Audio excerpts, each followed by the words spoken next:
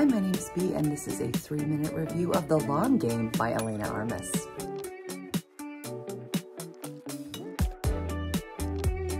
The Long Game was released on September 5th, 2023. It's book one of the Long Game series. You might like this book if you like sports romances, especially soccer. A good fish out of water story because this gal is from the city and she goes to the country. Sweet caretaking scenes where he is taking good care of her. A super slow burn romance. Some really spicy love scenes. And a hero who is a cinnamon roll at heart. Adalyn is working for her father's professional soccer team until an unfortunate outburst goes viral and she finds herself exiled to a small town in North Carolina. She winds up neighbors with a fellow curmudgeon, a former soccer star with a gorgeous British accent, narrated by the great Shane East. Cameron, like Adalyn, is wrestling with demons and looking for redemption. The two of them are forced to work together to improve a local soccer team. Animosity becomes friendship, which becomes much more in this extremely slow burn romance. I usually enjoyed our hero, Cameron. At the beginning, he's quite grumpy, like our heroine, actually. Once you get to know him, however, those delicious layers of cinnamon roll are exposed. He's super sweet inside. Gooey yumminess.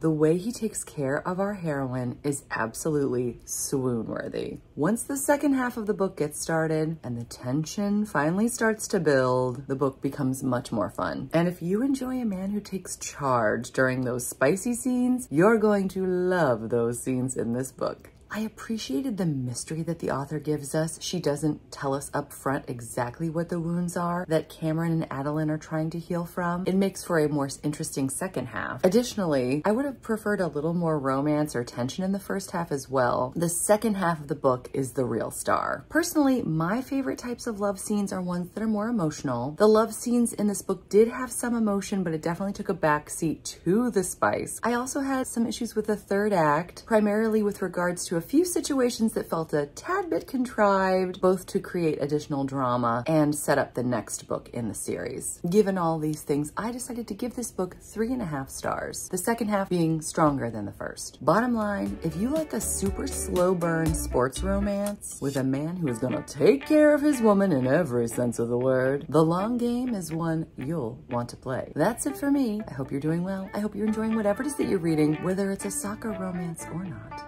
Until next time, thanks so much. Take care. Bye.